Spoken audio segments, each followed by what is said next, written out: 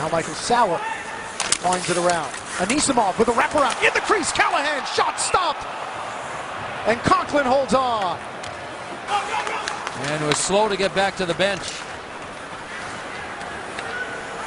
Stepan and Grachev converge. And Boogaard throws a big hit behind the play on Patrick Berglund as the Blues go three on two. Here's Steen, shot, score! Alex Steen with a wrist shot, stick side, beats Marty Biron, and the Blues score first. It's 1 0. Well, the, the Rangers got caught. Their fourth line is on the ice. There's two forwards, and here comes the third. So Boogaard made, made the wrong call. It's his job to stay back. And when he went in, they moved the puck past him. Odd man rush for St. Louis. Now they've got time to make the play. One man hard to the net. And then Steen with that perfect wrist shot to make it 1 0. Boy, that was that was perfect. Right up at the top, underneath the bar, just inside the post. Hands off for Frolov. Tries to use body positioning.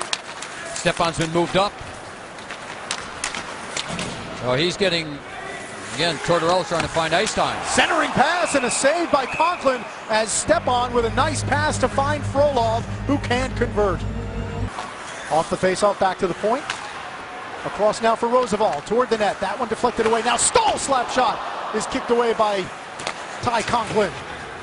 Now behind the net, Brewer watches Dubinsky centered for Callahan, redirection, and Anisimov had an open net and missed it on the left side. Conklin had no idea where the puck was. He thought it was underneath him. He was looking to his left. And it's been an easy play for the Blues to go back, get it, and clear the zone. That pass backhanded all the way down into the Ranger zone with eight seconds remaining.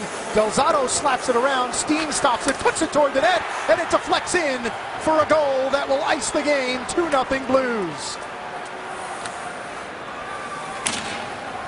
That one deflects off Girardi and in. But the last two times, the, the Rangers put the puck in You'll see they're making a change. There's a deflection, and then look at all the time that, that the Blues have to make a play. And they just go back, take it off the boards, and out. That was two consecutive dump ins, and then the last one, that shot would have gone wide, but hit the stick of Girardi and deflected in. So Alex Steen will leave the night with both goals for the St. Louis Blues, and that is it. The Rangers are shut out on home ice by Ty Conklin, who makes 27 saves, and this is remarkable. 128 games between the Blues and the Rangers. This is the first time, Joe, that the Rangers have been shut out by St. Louis.